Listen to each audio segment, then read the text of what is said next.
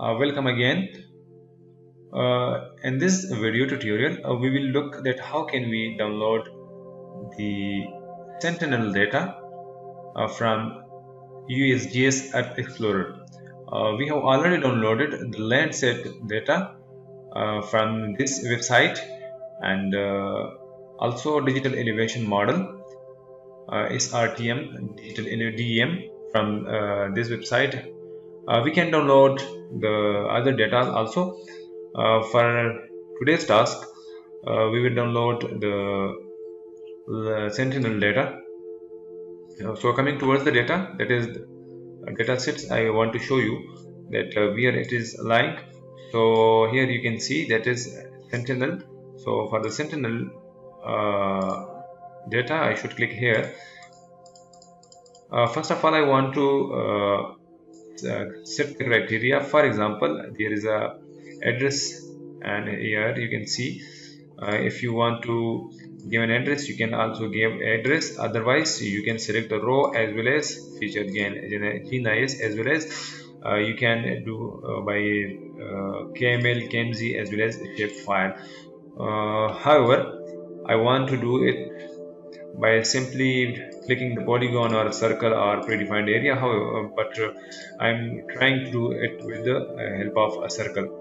So coming towards here for example this is the area uh, and I want to download the sentinel data. So just clicking circle and uh, making a circle.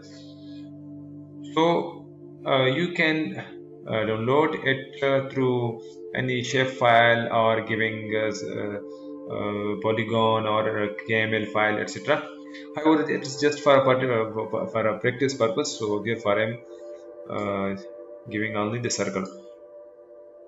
Now clicking the data sets. And the data sets you can see here a lot of options. However I will click the sentinel okay? Sentinel-2 data. So there is an information. Here you can see.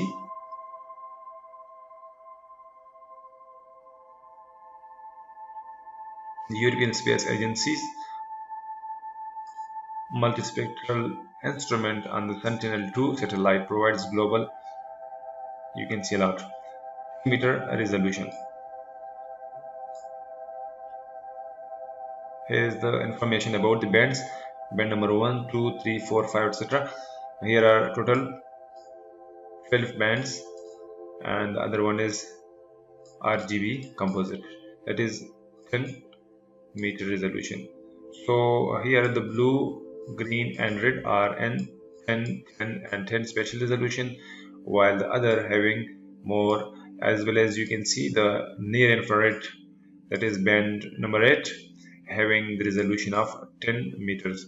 So there are four uh, bands that is uh, blue green and red and uh, the near infrared having 10 meter resolution and others have a more than 10 meter resolution.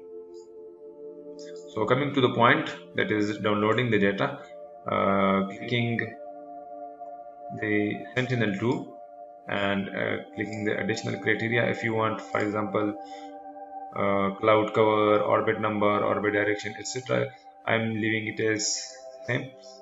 Clicking the results.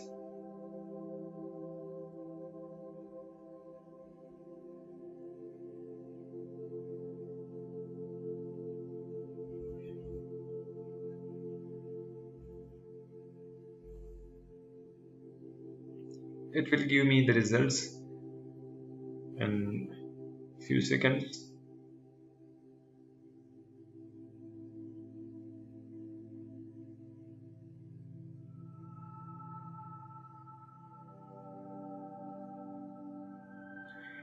here we go. So there are different tiles covering the area.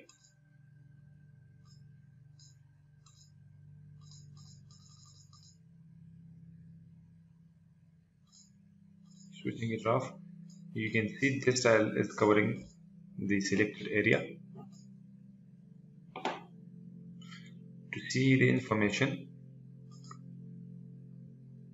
let's see the metadata. Metadata mean is uh, the information about the data. So is here is a, a entity id acquisition and acquisition start cloud cover agency European Space Agency Sentinel 2A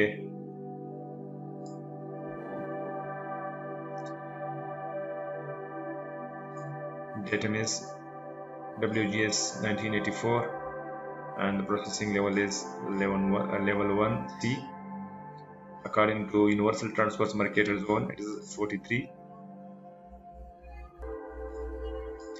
uh, here you can see that the data having 10 meter resolution 20 meter and 60 meter resolution. Just leaving all these options okay. Uh, now click here download the data. So it will give me two options.